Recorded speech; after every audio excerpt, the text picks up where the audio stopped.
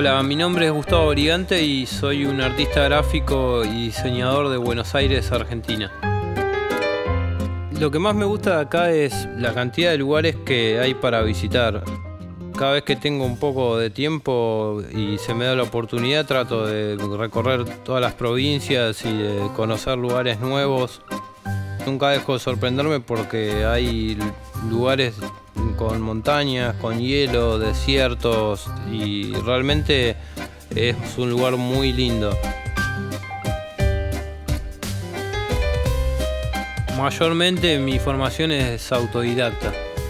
Mi paso de seis años por la escuela técnica me hizo conocer la caligrafía y las posibilidades que nos dan la computadora para hacer diferentes trabajos. Ahí también aprendí dibujo técnico fue toda una cuestión de paciencia, práctica y observar a los demás que hacían el mismo trabajo. Creo que tengo influencias bastante diferentes. Las que más me dispararon ideas eh, al principio fueron tapas de discos hasta encontrar a ciertos diseñadores que realmente hicieron que yo quisiera tomármelo en serio y hacer lo mismo que ellos. Latinoamérica tiene una cultura realmente muy grande y muy rica actualmente. Sin embargo, al principio mis trabajos no estaban muy inspirados por ella, más que nada por la parte moderna de esa cultura. Pero hoy en día me, inspira mucho más la parte nativa de Latinoamérica que me parece muy rica en la parte artística.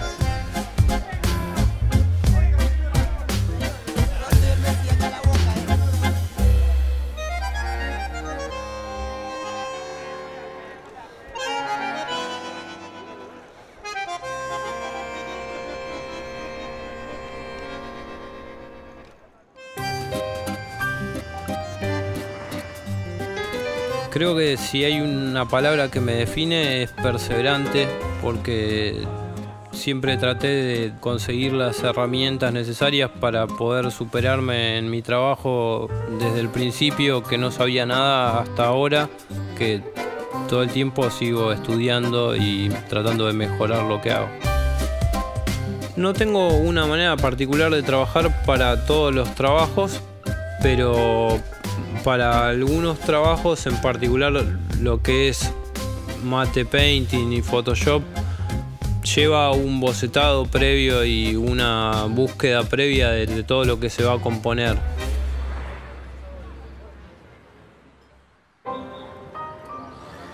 En un principio pensaba quizás que tomarse un tiempo para descansar mientras uno estaba trabajando, quizás no, no hacer todo el tiempo estar trabajando, era tomarme lo poco en serio.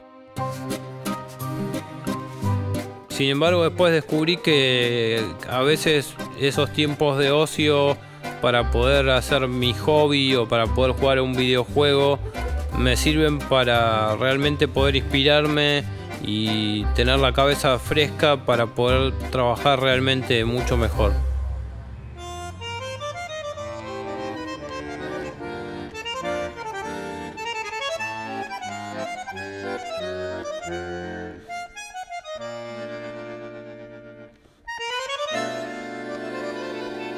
Disfruté mucho trabajar en el proyecto de Fotolia, sobre todo porque puede mostrar un poco un poco de mi propia personalidad. Si bien es un poco a veces difícil trabajar con un tema libre, porque uno quizás se puede perder también, pero realmente fue muy satisfactorio. Una cosa que mm, realmente me gustó mucho fue haber tenido todos los recursos posibles para poder haber realizado este trabajo y además tuvimos la, posibilidad de de crear fotografías que fueron directamente tomadas para este proyecto en particular. Necesitaba una fotografía más que era para la parte central y que tenía quizás cuestiones muy específicas eh, en cuanto a detalles y en cuanto a los objetos que, que esa persona iba a llevar puestos. Entonces decidí hablar con un fotógrafo y fuimos a su estudio y hicimos esta, esta parte específicamente para, para el proyecto Fotoliaten. Algo que me gustó bastante fue la posibilidad de haber podido producir fotografías para poder trabajar en este proyecto y que a su vez estas fotografías ahora van a formar parte de la colección de Fotolia para que otros puedan trabajar también con ellas.